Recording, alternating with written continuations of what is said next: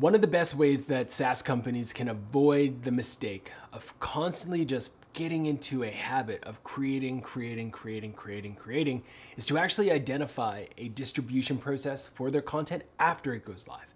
You have to think about, okay, where is our audience spending time and how can we ensure that when we do press publish on a piece of content that its life cycle doesn't end, it just begins.